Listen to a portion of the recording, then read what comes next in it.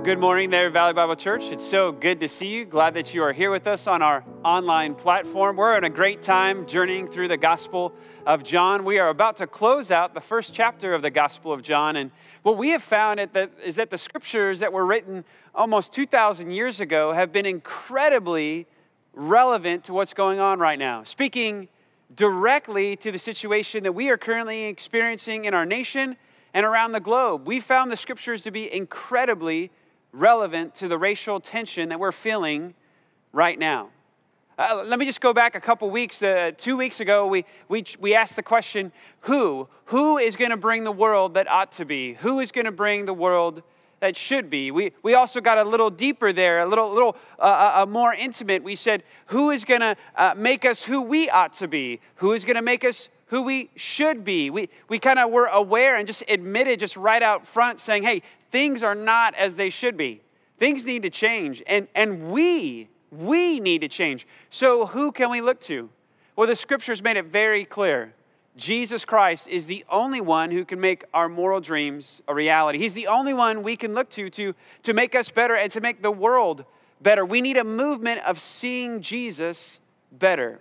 Because when we see him as we should, we will see each other as we should, and we will treat each other as we should. So, so last week we, we asked ourselves, well, how can we start this movement? How can we create this movement? How can we kind of change the landscape of what's going on right now? How can we change this idea of, uh, uh of seeing another skin tone as not being uh, worthy of the same value as our own? And we dug down deep and said, this whole problem is a sin problem because it's a sin problem that looks at skin and calls it a problem. And Jesus Christ is the only one who's going to change our view. So, how do we start this movement? We said it's actually very simple. It's right there in front of all of us. If we would have a conversation, we could start a movement. If we just start talking to people about Jesus and showing them who he is to us, and if they embrace who he is, they're going to see the world different. So today I want to unpack well, what's the biggest hurdle to that kind of movement starting with a conversation? Yeah, just think for yourself, just, just privately in your own mind, in your own experience. I, I know you want to tell people about Jesus. I know you want to share your faith, and I'm sure that you have before. But what's the biggest fear that kind of overcomes you? What, what, what, what stops you kind of in your tracks, emotionally overwhelms you, and stops you from having a conversation about Jesus. I'll tell you personally from my own experience. From my own experience, I think the biggest hurdle for me and for many that I know is the fear of not knowing, not knowing enough information, feeling like you're going to get a question that you won't know the answer to. And the big thing that we fear is saying the words, I don't know. Well, if that's you, if that connects with you, you have ever felt that fear of not knowing enough to share your faith, let me tell you right now, you are in good company. Because we all feel like that.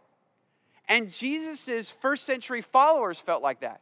In fact, one of Jesus' closest first century followers, one of his disciples, one of his apostles, often found himself in a position where he did not know the answer. He didn't know enough. But what's great about this guy, a guy we could all identify with, is that he had a perfect strategy to overcome that. And that's what I want to talk about this morning. We're going to be introduced into uh, the character of this disciple, and then we're also going to talk about the strategy that he used to overcome kind of his fear of not knowing the answer. So, journey with me, let's go to John chapter 1, and we're going to look at verse 43. John chapter 1, verse 43. And the character group we're going to be introduced to is a disciple by the name of Philip. Philip. And here's what we're going to see is Philip's strategy, if I could summarize it, which is the big idea for this morning. So if you want to take down uh, maybe a note on your phone or uh, maybe you have a, piece of paper next to you and you got a pencil, you can write this down. This is the one thing I want you to remember from this Sunday. If you're going to remember one thing, I want you to remember this. This is a kind of a summary of Philip's strategy. And the big idea is this introductions are better than answers. Introductions are better than answers. Answers are good. We should look into answers. We should read about answers. We should be prepared with answers when people ask us questions. We should try to seek out answers to our own questions. Answers are a good thing. I'm not saying that they're bad. But I think what's more powerful is an introduction, an introduction to an encounter with Jesus. I think what you'll find is that is way more persuasive than an answer. Let me show you how Philip used this strategy as the kind of I don't know a disciple, the I don't know follower of Jesus, the guy who never seemed to know the answer to many of the situations he found himself in. So let's just jump into our introduction with Philip. This is John chapter 1, starting with verse 43. It says, The next day, Jesus decided to go to Galilee. He found Philip and said to him, Follow me. Now, Philip was from Bethsaida, the city of Andrew and Peter. We looked at them before. Andrew is the one who had an encounter with Jesus, was so just amazed at who Jesus was, decided, I got to bring my brother, I got to tell my family member, I got to tell my brother, my, my kinsman, I got to tell him about Jesus. And so he brings Peter, who at the time was called Simon, he brings him to Jesus, and then and then Peter starts following, Simon starts following, and this is when Jesus renames Simon to Peter. Well, this is the same thing that Philip's going to do. Philip has this encounter. Jesus says, Follow me. And he has this encounter with Jesus. He's so incredibly blown away at who Jesus is, he has to go tell his friend. Not his family member, not like uh, we had with Andrew. We saw that last week. But he has to go tell his friend. Now, we could just stop here and see that this is the true power of Christian impact. That really, we don't need professional preachers to share the message of Jesus Christ. In fact, the most effective person to share Jesus Christ is a friend or family member. That the gospel is best received not from a professional, but from a friend or family member. And we see it right here at the start of Jesus' ministry as he's gathering his disciples. Yes, he goes and he finds some of them, but some of them recruit others. And right here we have Philip recruiting a man by the name of Nathaniel. But let's just look at what Philip says about Jesus. Let's jump back. We're in verse 45. It said, Philip found Nathanael and said to him, We have found him of whom Moses in the law and also the prophets wrote, Jesus of Nazareth, the son of Joseph. Now, what's happening here? What he says is, hey, Nathaniel, we, we found the guy we've been looking for, the guy we've been waiting for. You see, see, for us in the 21st century world, we don't really understand the kind of uh, the eager landscape that, that the New Testament was written in and that these disciples are, are in. There's an eagerness to the Jewish people. They're looking for someone, they're looking for a great leader, they're looking for a hero. And there's all these Old Testament passages that speak about this great hero who's going to come. And, and many different images are given of this hero. He's called Messiah or, or anointed one. He's called the Christ, the, the special one that God sets aside. That's what that idea of anointing means, and the idea of being the Christ. And he's, he's talked about as being a king. He's, he's talking about, uh, about as being God's son. All of these different imageries are brought up that, that there is going to be a hero a hero that would come. And so, what Philip is saying to Nathanael is finally, man, he's here. You see, the last prophecy written about this Messiah, this great hero, is hundreds of years old before we get to this time. So they've been waiting for a very long time. We can go all the way back to the beginning of the Bible in the book of Genesis and see that really Messiah was promised right after the first sin occurred. So we could be saying more than just a hundred, hundreds of years, but thousands of years the people of God have been waiting for this hero. And Philip has such a dynamic encounter with Jesus. He is convinced, Nathaniel, I found him. I found him. He says, and he speaks to kind of one of those ideas of what this Old Testament hero is. He says, I found the one in verse 45 whom Moses in the law was talking about. Now, who's that? Now, Moses is an incredible leader for the Jewish people. He's the one that delivered them out of slavery in Egypt and brought them to the edge of the promised land. And in the book of Deuteronomy, which is one of my favorite books in the Old Testament, Moses is preparing the people to enter into the promised land, this land they've been waiting for for a very long time. And in Deuteronomy chapter 18, verse 18, God makes a promise to Moses. He says, You know, Moses, you're great. You, you've led the people, but I'm going to raise up another like you, a prophet like you. And I will put my words in his mouth, and he will speak to my people. Well, ever since that day, that moment, the people of God have been waiting. And, and there's many, a much evidence in the New Testament that shows that this anticipation of we're waiting for a greater Moses, another Moses, somebody who could command God's people with such power and such dynamic leadership.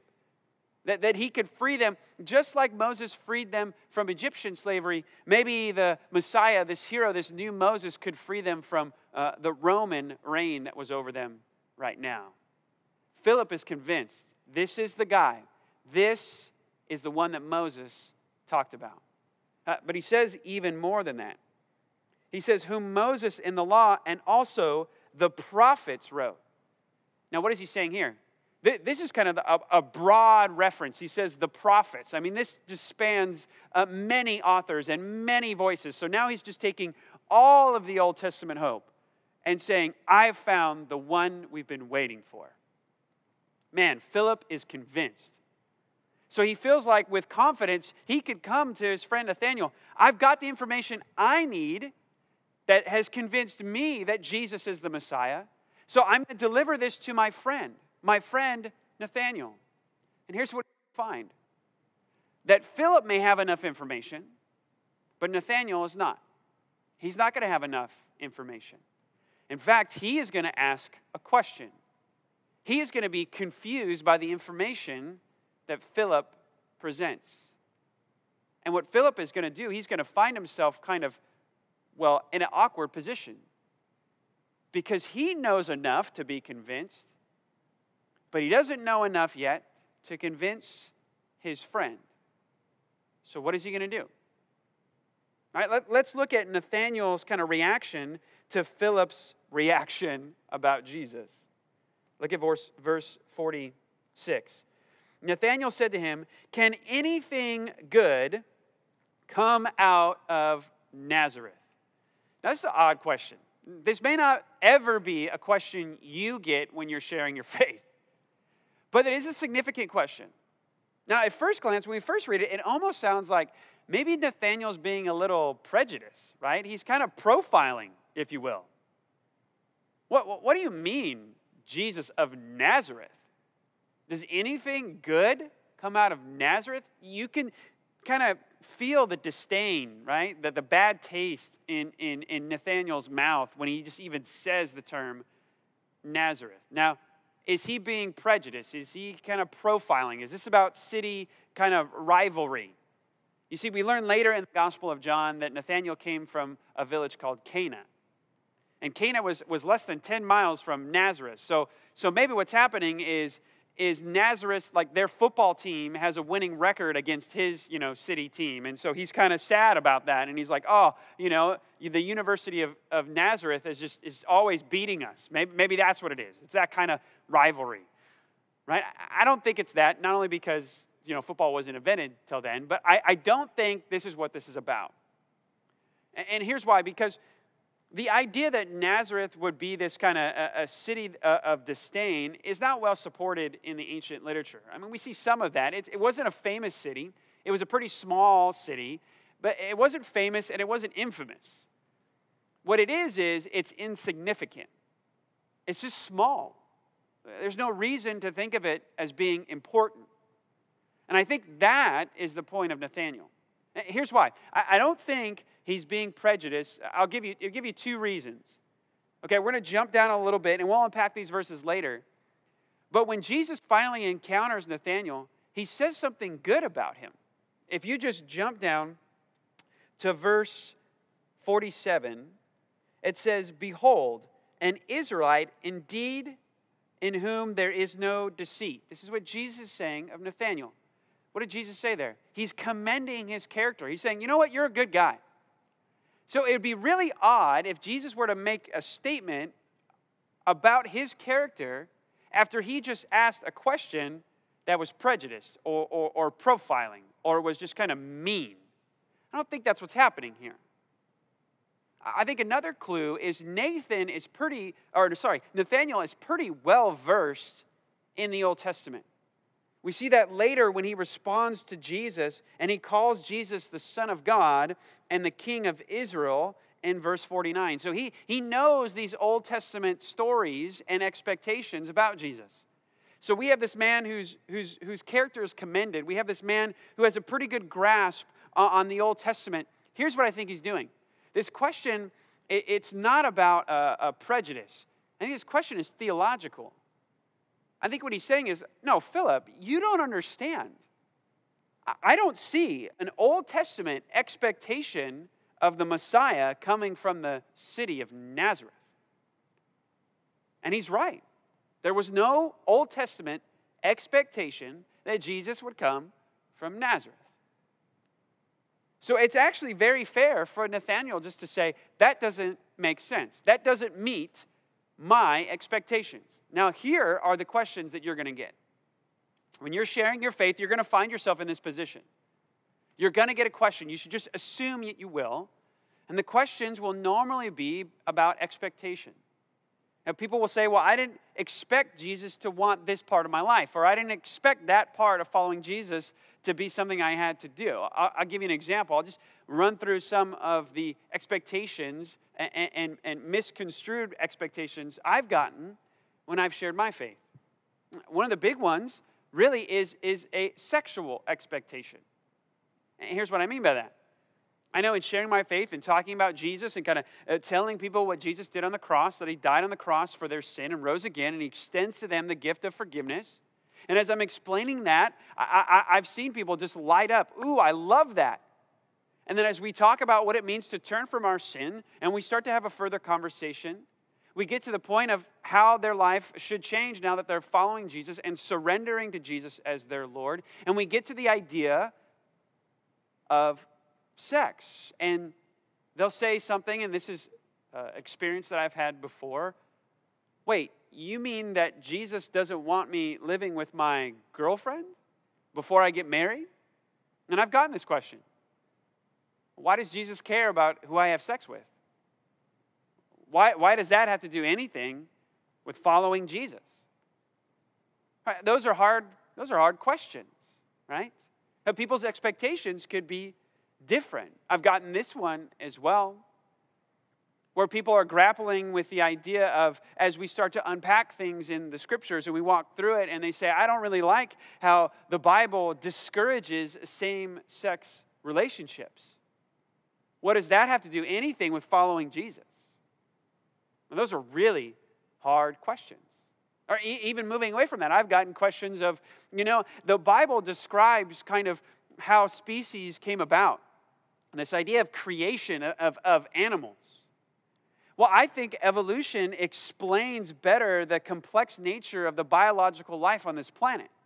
So, how does that square with the first couple of chapters of Genesis? Those are hard questions. I've gotten the question of, well, I don't understand how, as we walk through the Old Testament together, I'm seeing this violence in the Old Testament that, that, is, that is authored by God. And yet in the New Testament, I'm seeing Jesus, and he's so incredibly compassionate and asking us to forgive. How can these two kind of ideas work together? Now, these are hard questions. Now, let me just say right up front these questions have answers. But you're going to get these type of questions. You're going to get maybe even harder questions, more awkward questions, questions that are highly emotionally charged. What do you do? What do you do in that moment when you feel like maybe you know the answer, but you don't know how to give the answer? Right? The worst thing we can do is to not say anything, is to be paralyzed, to be kept silent. Philip has an incredible strategy for this. But let me reinforce in your mind that Philip is just like us. Because what we're going to see in our passage is Philip does not answer Nathanael's question. He's stumped. He, he, he sees it laid out before him. Wait, this doesn't, these expectations don't match up. I don't know what to do. This is a position that Philip often found himself in in the New Testament. In fact, almost every time that Philip is mentioned, he is the guy, he is the I don't know guy. Let, let me just show you this in the Gospel of John. And imagine if this was your history. Imagine if the pages of history were filled with these type of examples. It's, it's kind of embarrassing how Philip is presented in the Gospel of John specifically. He's always the I don't know guy. Right? Let me show you in John chapter 6. In John chapter 6, this is in verse 5. This is at the, the, the uh, uh feeding of the 5,000. So Jesus is going to do this miraculous work where he's going to feed 5,000 people. But first, Jesus asks a question to his disciples. Look at this in verse 5. It says, Lifting up his eyes, then seeing that a large crowd was coming toward him, Jesus said to Philip, Here's Philip, not mentioned very many times, but every time he is, it seems like he's the I don't know guy. He says to Philip with a question Where are we to buy bread so that these people may eat? Okay, look at Philip's response. 5,000 people gathered. Where are we going to buy food? Verse 6. And he said this to test him, for he himself knew what he would do. And Philip answered, 200 denarii worth of bread would not be enough for each of them to get a little bit. I don't know if you have this phrase in your family, but we have it in our family. It's Captain Obvious right? It's when you state something that is clearly obvious to everybody. Philip is Captain Obvious. There's a crowd of 5,000 people. And Jesus says, Man, how are we going to feed these guys? And Philip's response now, notice, we're in chapter 6. Philip has witnessed Jesus perform the miraculous. He's already seen him heal people. He knows that Jesus is a pretty incredible individual. But all he can say is, man, even if we had a lot of money, a lot of money wouldn't feed all these people. Well, thank you, Captain Obvious. Again, he finds himself in that I don't know position. Look, this happens again to him. Look at chapter 12. Chapter 12. This one's not as embarrassing, but again, an example of Philip not knowing the answer.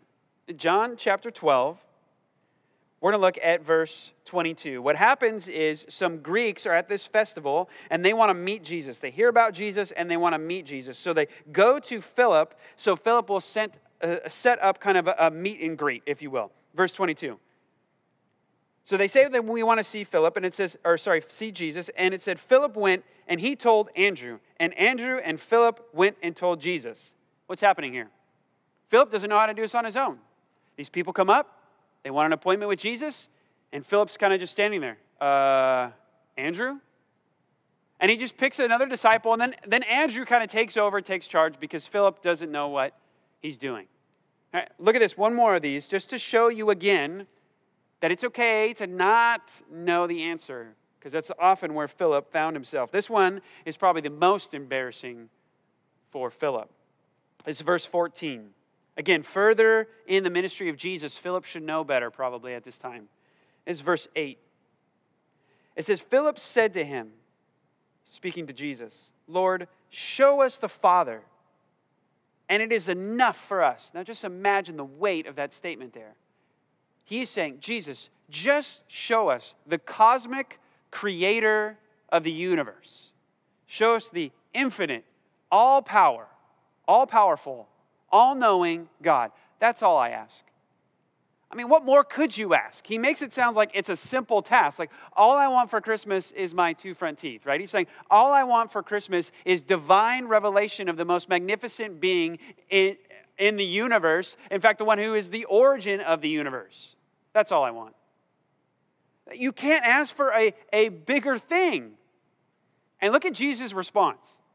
I think Jesus is offended by this question and he points out Philip's ignorance. He points out that he is the I don't know guy. Right? Look at Jesus' reaction. Verse 9. And Jesus said to him, Have I been with you so long? Will you, and you still do not know me, Philip. Man, that one hurts. How long? It's like when you tell your kids, How many times have I told you this? How many times do we have to go through this? That's the posture that Jesus is kind of taking there with Philip.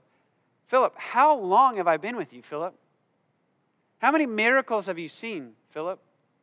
How many teachings must I give, Philip? How clear can I make it, Philip?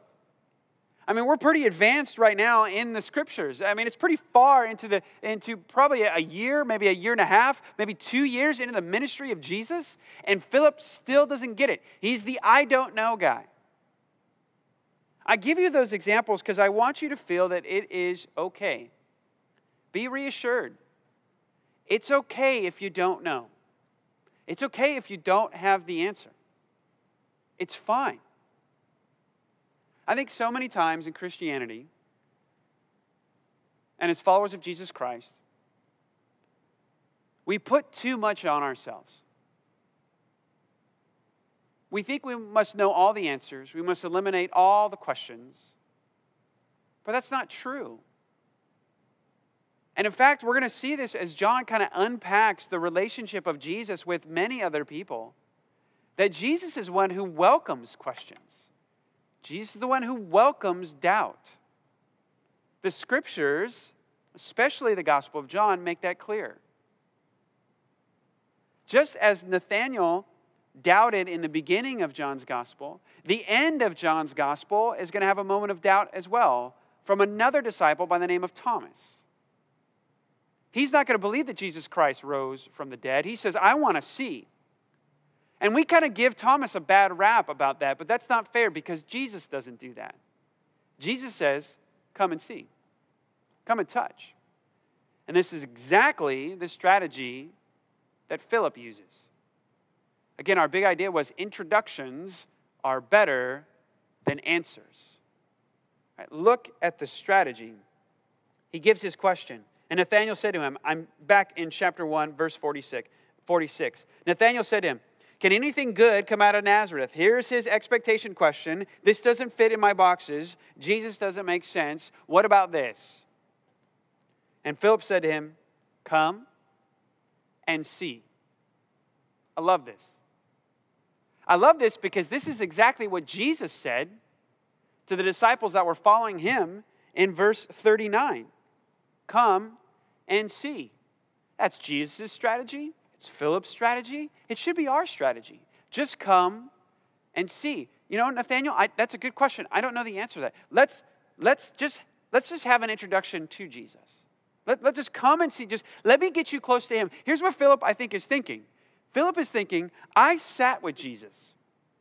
Uh, we talked, and he explained who he was and his significance, and, and he unpacked for me who he was, and I was convinced. So Philip is thinking, well, that's what worked for me. That I had, had a, I had to have a face to face moment with Jesus. And if that worked for me, then it's going to work for my friend. And so he says, Nathaniel, come with me. Now, Nathaniel's going to be a, a man of questions. We're going to see this again. He's going to do this with Jesus. But Philip's strategy again introductions are better than answers. And here's what we're going to find the reason that is true the reason it's true that introductions are better than answers is because Jesus is so much more impressive than us. Jesus is so much more impressive than us. If we can just get people to Jesus, let him do his work, he will impress. And this is exactly what he does with Nathanael. Look at Jesus now and Nathanael. Philip makes the introduction. Here's my friend Nathanael, and this is what Jesus says as Nathanael is approaching him. Jesus saw him in verse 47 of chapter 1. Jesus saw Nathanael coming toward him and said, Behold, an Israelite, indeed in whom there is no deceit. This sounds really good, right? This is a, a true Israelite and there is no deceit in him. That feels really good. But the significance of this statement really can't be appreciated unless you really see the background of what Jesus is saying here. Jesus has masterfully constructed this compliment. Okay, let's just unpack it.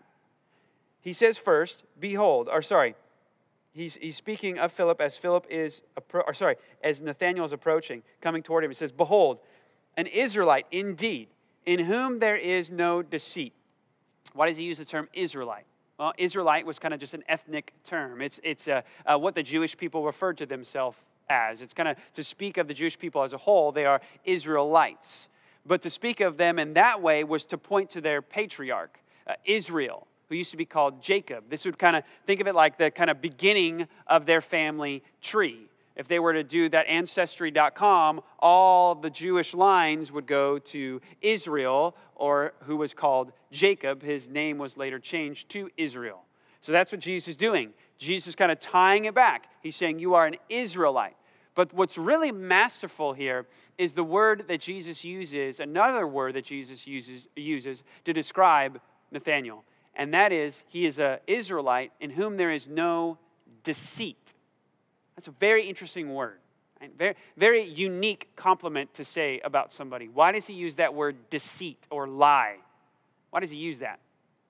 It's because of who he's just referenced. He's just referenced Israel, whose name was Jacob. And you know what Jacob was known as? A man of great deceit. He was a liar. He, he was a, a scoundrel, all right? He was a manipulator. He, he, he was kind of a, a con man.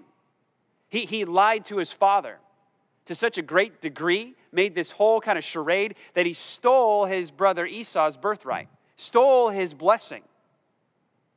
He does it again to his father in law, not only his father, but his father in law, right? Happy Father's Day, Jacob, right? To his father in law, he lies to him and he makes this whole charade and he steals a great amount of his wealth. This is who Jacob is. And so when Jesus is looking at Nathanael as he's coming, this compliment basically is this the father of our people, you are better than him. You are an Israelite in whom there is no deceit. You're an Israelite in whom there is no Jacob. You are better than Jacob. Now, that is a significant compliment. But how can Jesus make that? I mean, Jesus has never met this man. Right? This is the second question that Nathanael comes up with. Verse 48. He hears this compliment. Maybe uh, he was approaching or rumor got to him. Who knows how he got this compliment? But look at his reaction. Again, Nathanael being a man of doubt or, or an inquisitive personality, right? He's always looking to ask questions, looking for information. He says this in verse 48 Nathanael said to him, How do you know me? Right? Maybe, maybe that rivalry is coming out, man. You don't know where I'm from. Oh, you're from Nazareth, right? But I'm from a different place. He's saying, How do you know me? How can you be acquainted with my character? You, we've never met before, and yet you make this statement as if you know me. You are intimately aware of my character. How can you do that? Now, watch this. Introductions are better than answers. Why? Because Jesus is so impressive. Look at how Jesus is just going to blow away Nathanael's expectations. Nathanael had a question to Philip. Philip didn't know what to do. Well, just come and see. Let me get you to Jesus. Let me make the introduction. Then Nathanael has a question of Jesus, and watch how Jesus impresses Nathanael. Look at what he says to him, his response to Nathanael. Jesus answered, I'm in verse 48. Before Philip called you, when you were under the fig tree, I saw you. Now, that doesn't look that profound, right? Maybe Jesus is just saying, You know, I have 2020 vision, right? Like, I saw you from far away and you were under a fig tree. Now, I think that's a possible reading if we just take that one little passage, that one little sentence. But I don't think that works based on the reaction of skeptical Nathanael. Look at how his posture towards Jesus changes after he says that. Now, we don't know what Nathanael was doing under that fig tree. Uh, we have a documentation in the ancient world that, that rabbis at times would study the scriptures underneath fig trees, that fig trees were a sign of prosperity. So maybe uh, Nathanael's a, an affluent kind of scholar and he's reading the scriptures. We don't know. But the, the important part is not about what is Nathanael doing, it's about how could Jesus see him while he's there. And look at Nathanael's response. It really unpacks the significance is not what Nathanael was doing, but the supernatural knowledge of Jesus on display. He not only knows his character as he's coming, but he saw him before he ever came. And Nathanael responds in this way verse 49 Nathanael answered him, Rabbi, you are the Son of God, you are the King of Israel. Now, that is an interesting response. If Jesus is just showing off his 2020 vision, if he's just is showing off uh, the power, uh, uh, you know, his optical power, then that does not make sense. Right? Nathanael should have said something like, Wow, you must have really good vision. Did you get LASIK? What did you get? How, how did that happen? No, I think what Nathanael is showing is that there's no way Jesus should have known where he was at. I think he gives that kind of marker because it's significant to Nathanael saying, he was so far away. There's no way Jesus could have seen him from afar. Maybe there were several hills in front of where Jesus was and where Nathanael was when Philip met him. Philip journeyed back to find his friend Nathanael, maybe in his hometown. And then he brings him to where Jesus is at, and Jesus makes this statement, and he says, Wait a second, that doesn't work. It'd be like Jesus calling out your specific address knowing you lived four or five states away, but he picked out, yeah, I know where you came from. You came from this address. Nathanael is so incredibly impressed. This skeptic now becomes so excited, he gives these grand titles to Jesus. He calls him the Son of God and the King of Israel. Now, what does that mean? We've got to unpack those. Uh, we don't, I don't think we want to read too much into those, but they are very significant statements. Like, for instance, when you hear the term Son of God, as a 21st century uh, uh, Bible reader, of course, we have all of the scriptures unpacked for us, and the significance of that term, Son of God, is incredibly significant. We know it speaks to the nature of who Jesus is, that Jesus is, is equal to God because he is, in essence, God. He is part of the divine Trinity, the Godhead Father, Son, and Holy Spirit. So he is God. And that statement, Son of God, has that meaning packed into it. But I don't think that's completely what Nathanael is saying here. I think Nathanael is speaking better than he knows. Again, this is the initial encounter. It's a significant statement, but I don't think he's ready to say you are equal to God. I think what he's saying, though, is you are like God. And the reason I, I think that is because I think this kind of way of speaking, Son of God, that kind of way of speaking was very common in the Hebrew world. And I think now we have the, kind of the Hebrew language kind of eh, making an impression on the Greek here, is that the Hebrew language didn't have a lot of adjectives at their disposal. Uh, uh, so uh, think of like large house. And so they didn't have a lot of adjectives like large to describe nouns. And so oftentimes they would use different um, idiomatic phrases. And, and what they would do would be like, son of this. And so if somebody were, say, to be uh, uh executed, they would call him a son of death. Judas is called a son of perdition. if you are a man of honor, you would be called a son of valor. So it was a way to describe somebody. Jesus does the same thing.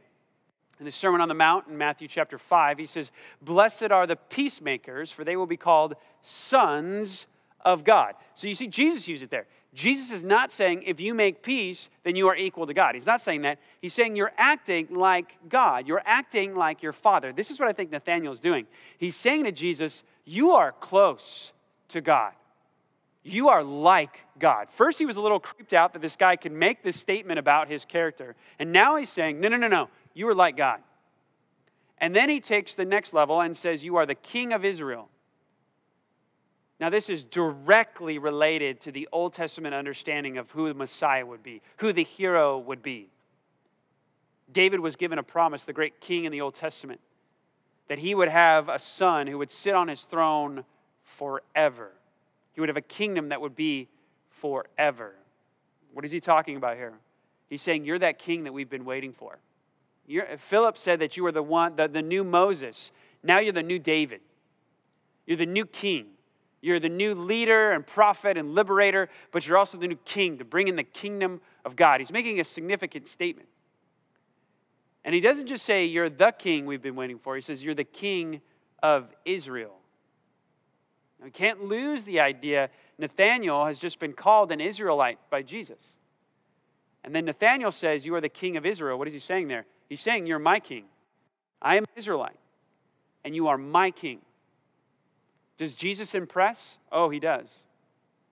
But Jesus takes it even further than that.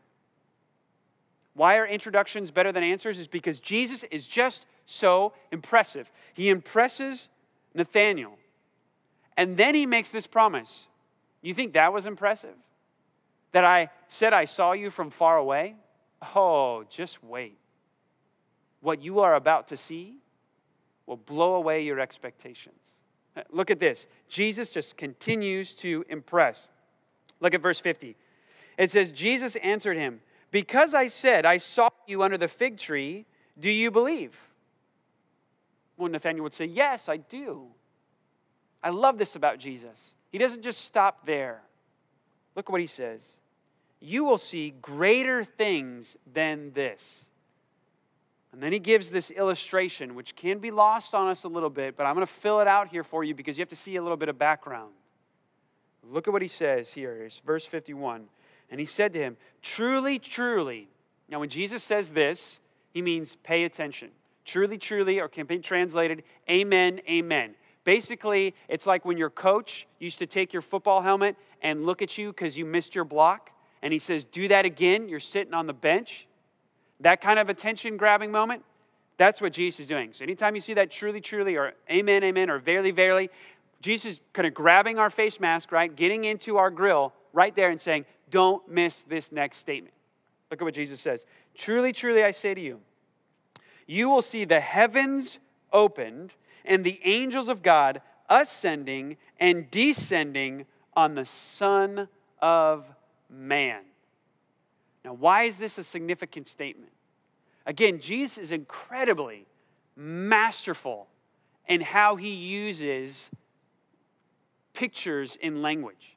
I mean, really is. What is Jesus talking about here? Now, remember when, when Jesus said to Nathanael, You're an Israelite, indeed, in whom there is no deceit, he's, refer- he's referring to Jacob. He's saying, You're not like Jacob. You're better than Jacob. What Jesus is doing here is he's saying, Okay, Nathanael, you're better than Jacob, but I am better than anything that Jacob ever experienced spiritually. Okay, here's how I, I, believe that's true in our passage here. See, Jacob had this remarkable encounter with God, probably his most remarkable encounter with God. He had just lied to his father, cheated his brother, right? One of deceit. He's running away from Esau. And as he's running away from Esau, he gets tired.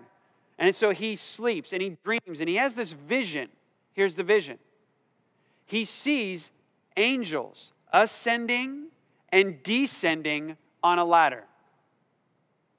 And then he sees at the top of that ladder God speaking a promise, telling Jacob, I'm going to give you a blessing, Jacob. I'm going to give you a land. Through you, the promise I spoke to Abraham to bless the world, I'm giving that to you. And the land that you're fleeing from right now because of fear of your brother, I'm going to bring you back to that. Jacob wakes up, and this is what he says This is an awesome place. I didn't know that God was here. And so he names the place Bethel, which means house of God. Jesus is saying, okay, Nathanael, you're better than Jacob but I'm better than Bethel.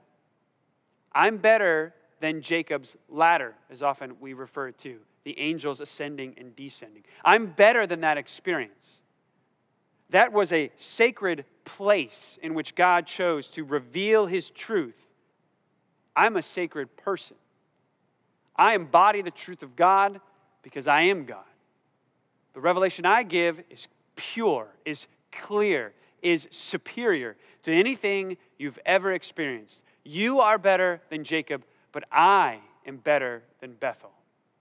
You're impressed, but you're going to get even more impressed. And I think you will too. As you journey through the Gospel of John, I think you'll see that same thing. So, what I want you to take away from this again, I know, I know, I, I still have them. I still have conversations and times where I feel trapped, like I don't know the answer. I don't know the best way to respond. And I'm sure you've experienced at times where you get that moment where you finally take the courage to take the next step to have a conversation about Jesus. And you finally do it, and it does not go the way you want it to and you just get frustrated and you, you, you, you can't get an answer out and you just stumble over your words and then about six minutes after the conversation is over and the person is left you have all the answers that flood your mind. You're like man i should have said that i should have said that and i should have said that and you feel like calling them back up and just saying hey I, I messed it all up last time. Can we go at this again? And I think at times we take our lack of information, of feeling like I'm the I don't know guy, Right? We're all ambitious to wanting to share our faith. I think even now more than ever. Just watching the world just being torn apart.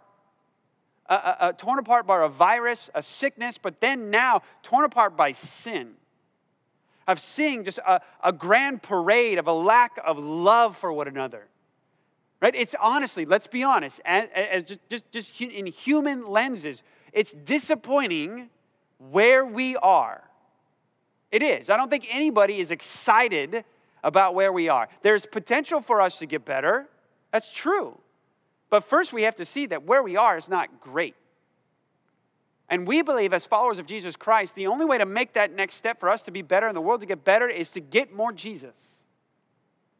It is to see that Jesus is the one who can handle our sin, who can transform us inside. And so we need to start conversations about Jesus. And I know you want to do that. And you want you're eager to do it even though you're shelter in place, you're bursting inside wanting to tell somebody about Jesus so you can see their life change, so you can see this world change. But you get that moment of fear. I'm just not trained enough. I just don't know the answers enough. I, I just can't do it.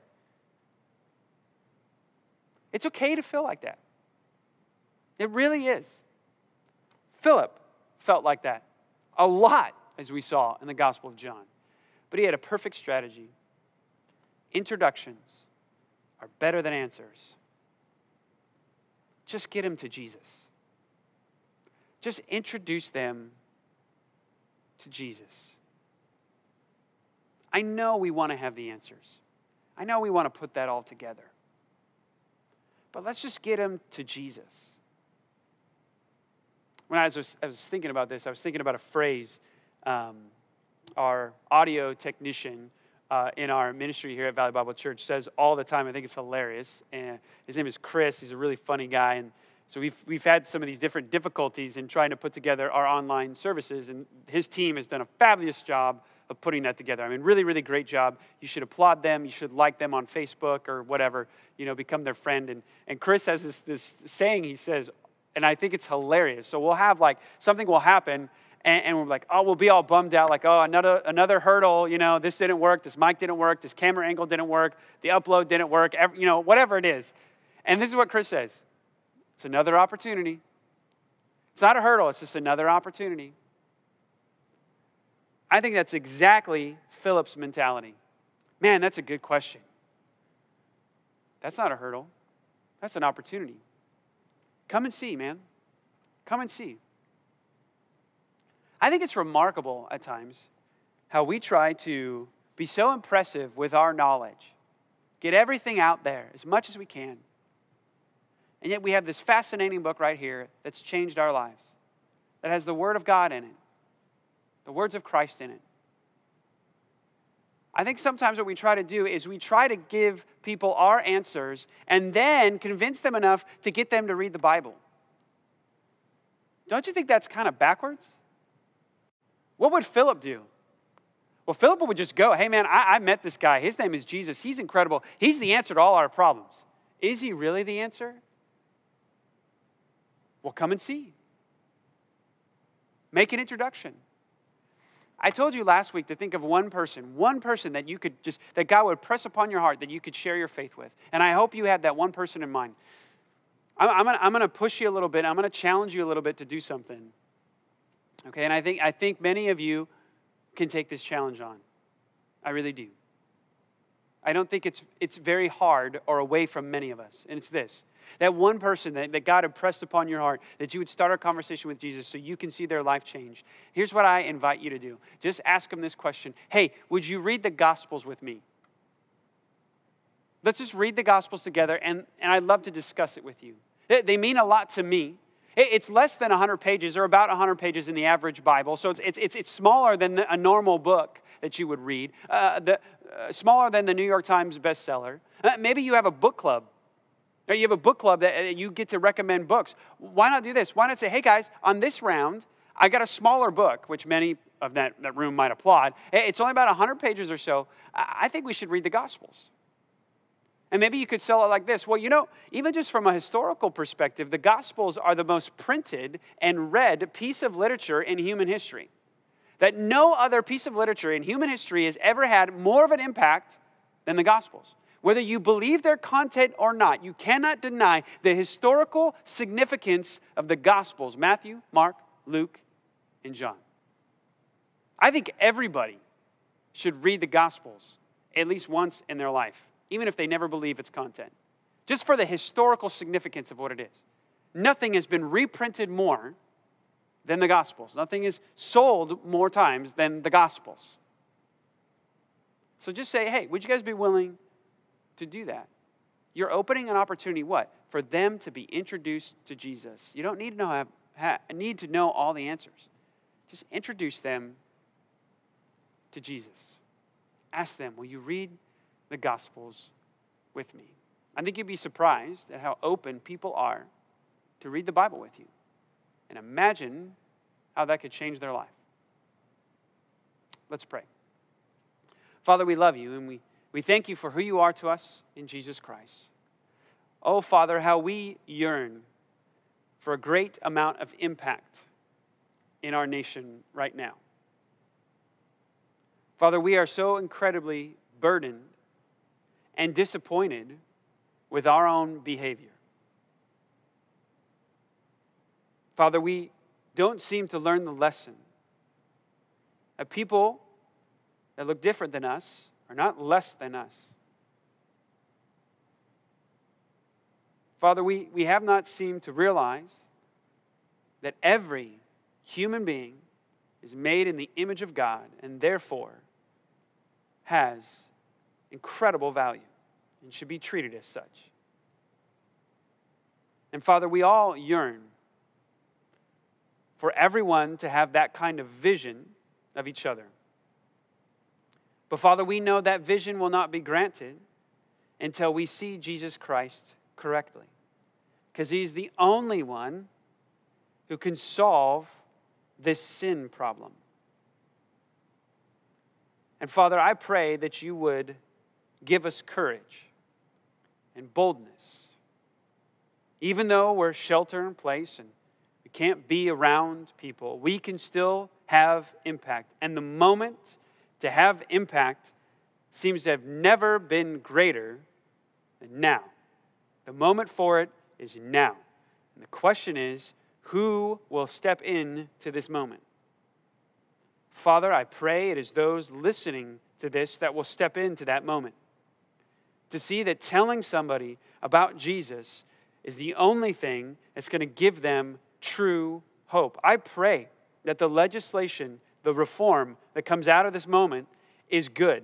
But I know it is not going to solve the problem long term because the problem is heart deep.